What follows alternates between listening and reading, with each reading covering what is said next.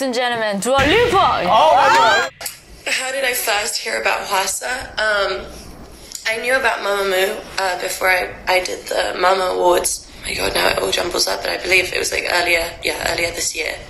When I heard that we're gonna get to perform together, um, it was just really exciting. You know, it, it was again something new. I always love trying out different things and collaborating with artists that people wouldn't expect me to. And um, when uh, me and Hwasa got to rehearse together for the for the awards, she was just so so sweet and so fun and so charismatic and just completely, you know, took the song and made it her own and she went up and she performed new rules just before I got up and did Don't Start Now.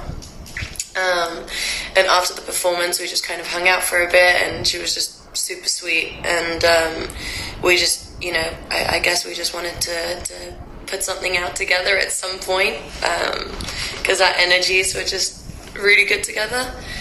Um, and so it just kind of felt like a no brainer uh, when I was thinking of like because with this album, what I've wanted to do is really kind of create different dimensions with all the different songs and um, create new worlds. Obviously, because of the current situation with with the virus, I obviously haven't been able to go out and do promo and do TV performances. So I'm I'm gonna have to try and get really inventive with different ways to make all the songs feel really, you know, special and you know when when comes out. So we create like a world around it. But I'm thinking of ideas, and I'll um, get back to you with all of that.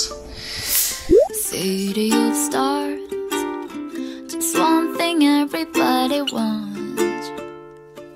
Mm. In the fires and through the smoke screen of the crowd.